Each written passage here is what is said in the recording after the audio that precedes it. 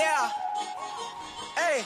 I work hard every motherfucking day. Yeah, yeah, yeah. Yo, yo, yo, what is up, guys? It's your homie Night iMaster here, back again with another YouTube video. And on today, boys, you guys saw the title. You clicked on this video. You saw the thumbnail. Your boy's about to talk Jump Force. And, boys, before I get into this, this will be a very biased video. This will be a very opinionated video. These are more so some of my favorite characters that I will want to see in the Jump Force game. And let me say it right now that most of these characters have nothing to do with Shonen Jump whatsoever. These would just be five characters that I would like to see in Jump Force or in an anime game, like in general, like in an anime like brawl game in general. These are just five characters, five female characters. I would like to see in Jump Force. I will be doing a male video, or like a, I will have a male counterpart video, but that's for a later date. I will make that video later this week. So if you guys want to see that, like drop a like and, and like comment down below. What's your favorite girl character you like to see in Jump Force? If some of my picks you agree with, hey, tell me down below. Like, hey, I had this one. I didn't have this one. Out of these five, I had none of these five. Out of these five, I had all these five. Which would probably be like, like, what's what are the chances of that? But boys, coming in at the number five spot for females, I would want to see in Jump Force. Most people haven't even probably like seen this anime. The anime is called Taboo Tattoo. And coming in at number five is my girl Izzy. Now Izzy is a savage. Point blank period, my nigga. And she's stuck in a child's body, or like there was like some curse on her and stuff like that with her tattoo, and she got like she's just stuck in like this teenage body. She's like she looks like she she's about 14 when she's really like I, I would have to say like in her 30s in, in this body and stuff like that. She's stuck in the body, but she has the ability to like uh what, was it? I think there's like something she uses chalk. And with this chalk, with the magic in her tattoo and stuff like that, she can combust the chalk. So when she uses the chalk, she can like flick it and it explodes. It sounds pretty stupid, but if you've seen the anime, like my boy Karen can vouch for me, it got some of the best fight scenes I've like ever seen in anime. Like when it comes to like taijutsu and stuff like that, like hand to hand combat, taboo tattoo is like the way to go. You cannot go wrong with this anime, and it is pretty, it's pretty clean, my boys. All right, now let's get into the number four spot for my top five anime right, boys. Now coming in at number four is my girl. Most people have seen this anime, and if you haven't seen this anime, I advise you go back and watch it. It's on Netflix. It should be on like Funimation. Crunchyroll, whatever. It is Soul Eater, my boys. Is like one of my favorite animes of like all time. I binged the hell out of this anime when I had the flu. It was on Netflix and I was like, yo, what is this? And then like I just clicked on it and I was like, that bitch is going ham. Like, no, like if you guys don't know who Maka is, I'm gonna roll a clip.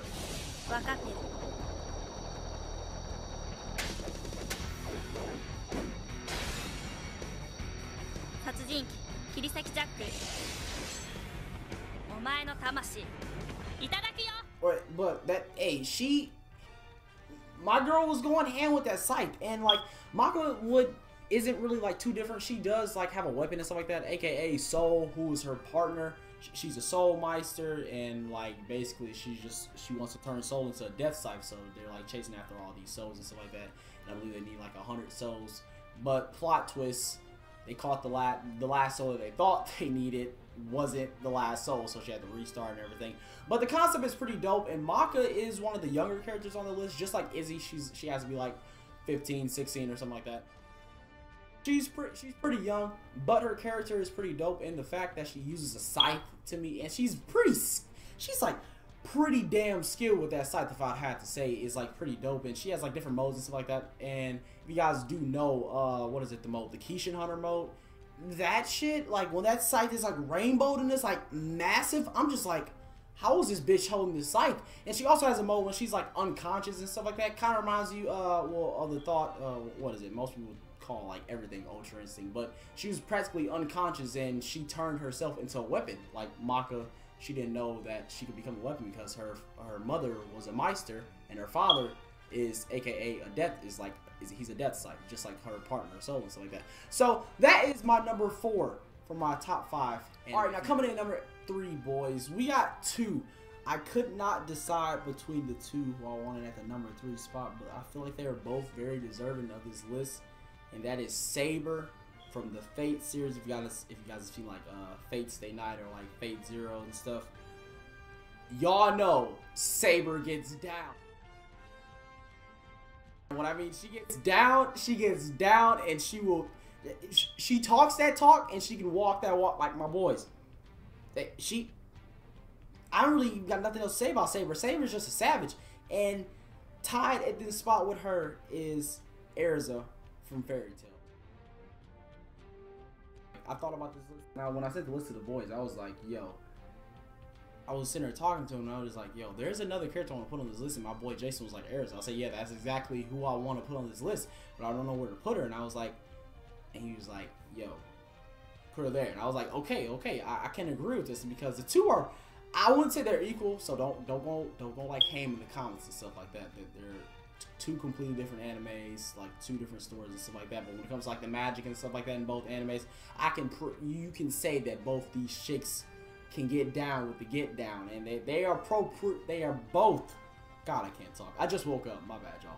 They are both pretty dominant in their in like in what they do and stuff. So you got you got Saber being a knight, and then you got Erza just being like a savage of the Fairy Tail Guild, and she keeps my boy Natsu in check. So the, that's number coming in at number two. You guys, you guys might have seen this anime. It's it's a pretty. I, I don't know. Like I always hear like 50-50 about this anime. A lot of people like have watched this anime, but a lot of people have not seen this anime. Like most people don't even know who these characters are. But in the number two spot, the number two and one spot are held by characters from Kill la Kill. And if you guys are about to hit the number two spot, so you guys know who my number one is. But my number two is Satsuki Kiryuin from Kill la Kill. AKA the main antagonist of the show up until like the climax of the show and like the giant plot twist in the show in the show. And Kill la Kill is one of my favorite animes like all time, like because the girl like the main character of the show is just a savage throughout the entire show and that show continues to get better and better and up until episodes from 1 to 25 that show was just like it was a banger. I've never talked to anybody that really hasn't like that has anything bad to say about Kill la Kill. That's like one of the animes that Trigger did really good. I'm like they they fucked up a few like and we we all know what couple they messed up. Yo, why is Zero Two in this video? Like she's not even on this list, but hey, eh, no disrespect to my wife, but Satsuki Kiryuin, we have Ryuko Matoi's older sister that we don't know about until like way further in the series and stuff like that. Spoiler alert! Like if you guys, Kill la Kill is like five. It, it's a couple years old, so it's it's not really a spoiler if you haven't like seen it and stuff like that. Well, it actually is a spoiler, but you can tell at some point in the series that they have a connection to each other and that they're they're, they're there's some family link between the two. Like it gives it off, they give off that vibe at some point, or that's kind of why like Satsuki shows like so much mercy, like Ryuko because there, there have been points there was points in the series where, like she was straight up dogging Ryuko. And then like later in the series, Ryuko straight up bitches Satsuki and like it's like not even a chance. Like there's like there's no chance for Satsuki. But hey, my number one spot, like I said, has to be held by my girl Ryuko Matoi. And Ryuko is just, I, boys, I don't. She's she's just a badass. Like she's pure savagery. You got Satsuki like the real strict like Matoi, and she's just like, yo, she's like salutive, she's like very proper, but then you got Ryuko who's like the girl, high school girl has been getting into fights at all her high school. She's been getting kicked out of school. She's been transferring from school to school. And she finally makes it to Honnouji Academy. And first day at the school, she goes for the top dog. First day at the school, she goes at Satsuki. She's like, hey, so that's the top dog. She's like, listen here, bitch. And she's just, yo, she's a savage. And the bitch even goes Super Saiyan. It's... okay, she doesn't really go Super Saiyan, but the, her awakened state in that from that final episode with, with the clash between her and her mom in space that shit's dope, and she gets like golden red. Like I, am pretty sure I put it on the screen at some point, but if I didn't, here's another picture. And yo, she, she just, she's just like a savage. But I hope you all enjoyed this video. Subscribe to the channel if you guys are new for more anime content, more like discussions, more anything from your boy. We out here trying to get to 2,000 subscribers. So join the night fam. Let's make it happen, boys. I'm to be back with my top five male anime protagonists. I want to see you Jump Force. It's been my pleasure me down, Master. And I'm to see you guys later. Peace out, everybody.